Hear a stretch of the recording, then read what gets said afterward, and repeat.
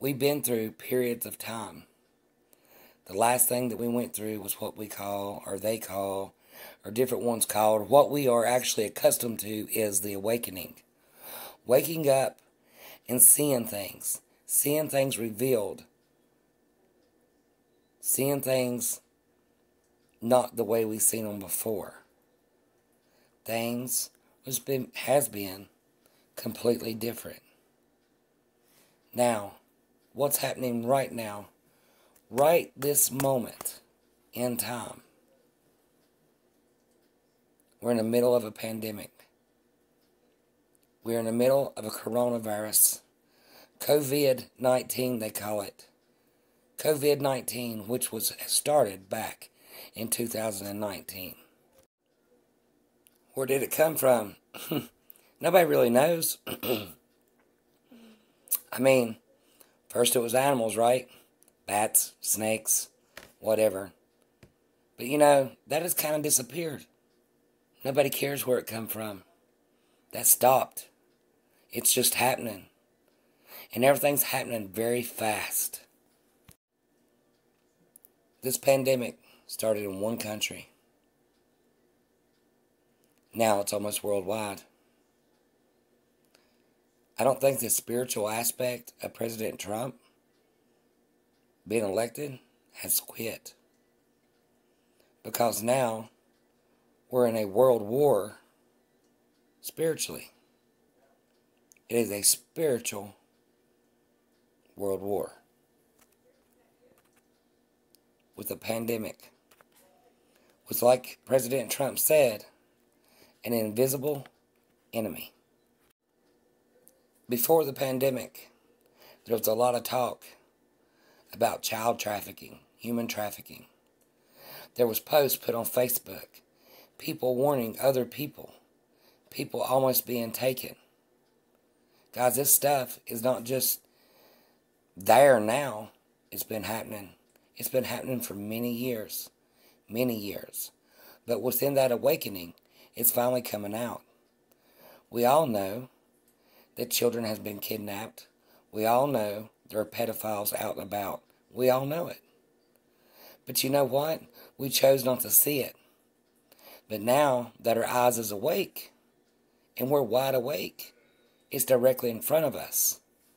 And that's cause people is coming out. People are telling the truth, and people want their stories heard. So where does that put us now? All along, we've been fighting evil. We've been accustomed to good and evil. We know it exists. Even as a baby, growing up, we know it exists. You have good people, you have bad people. It's showed in movies, in stories, in Bible stories good and evil, good versus evil. God is good. Lucifer is evil. That's what we grew up with. That's what we were taught. Sure, there's people with different opinions, different beliefs, different religions. They call God something else. They believe in something else. But you know, it doesn't matter. It's still the aspect of good and evil a belief system is still a spiritual realm. Either way you look at it, it's spiritual. And right now, this just is not the coronavirus. This is just not some virus that was just like into existence. It's not what this is about.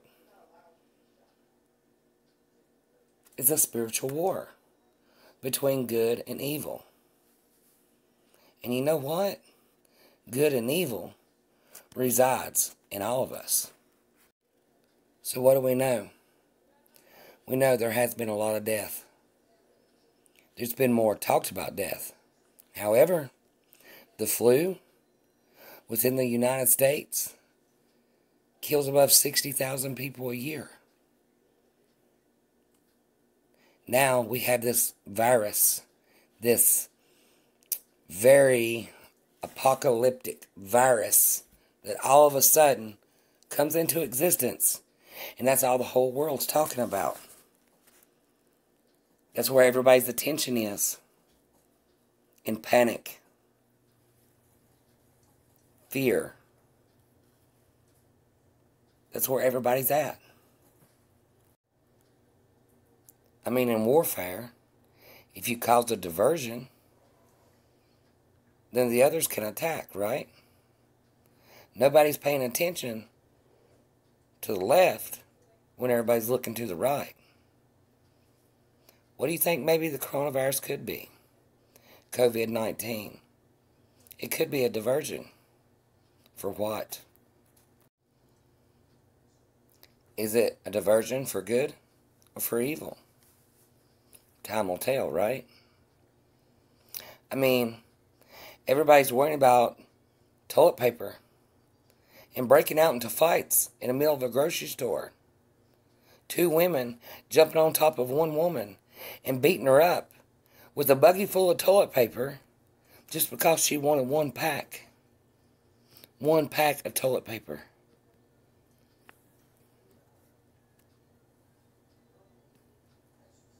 Think about it, guys.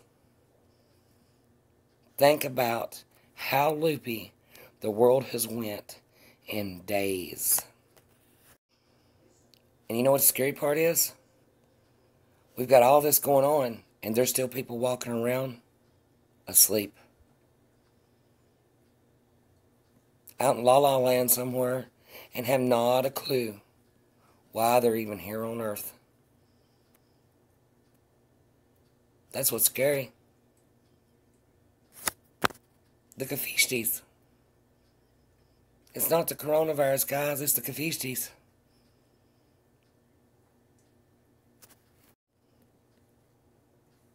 Bottom line, what do I feel? I feel it's going to get worse before it can get better. I believe everybody needs to be prepared. Not worry as much about toilet paper, but worry about what they're going to eat and how they're going to take care of their families when it goes completely south and all hits the fan and everything is shut down. That's what I think. I believe that we are in a purge, a reset. And I do believe it's going to happen. And it's going to be worldwide. It's not just going to be the United States. And I believe that instead of just worrying about toilet paper, it would probably be a smart idea to make sure that everybody's got enough provisions for a good 10 days, two weeks, three weeks would even be better. Enough food, enough water, because the next thing, when everything goes completely south, there won't be no internet. There won't be no social media. There probably won't be no TV. It'll probably be an emergency broadcast channel for so long. There's going to be some type of medical martial law. It's going to be something. And I believe it won't be too long because although that my beliefs might be a bit different than what I was taught or was shoved down my throat, I know Easter is coming.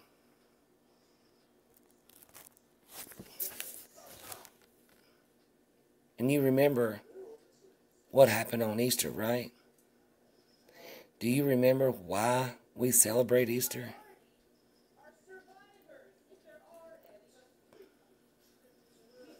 I don't believe that that true day God would let be polluted in darkness. So,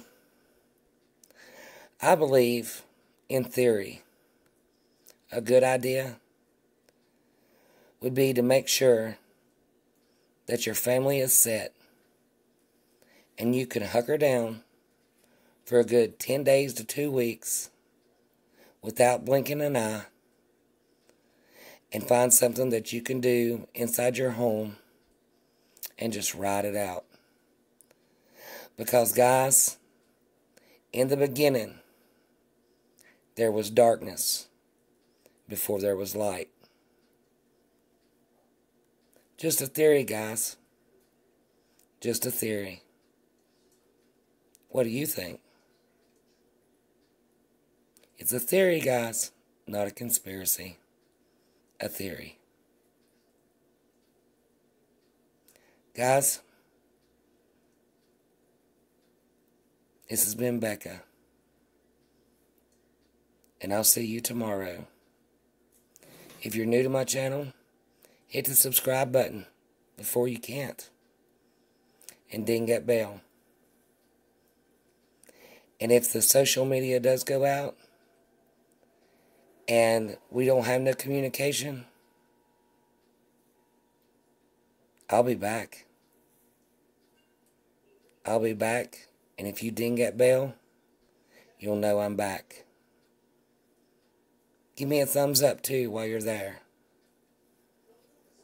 This has been Becca, and you've been watching The French Fried Truth. See ya.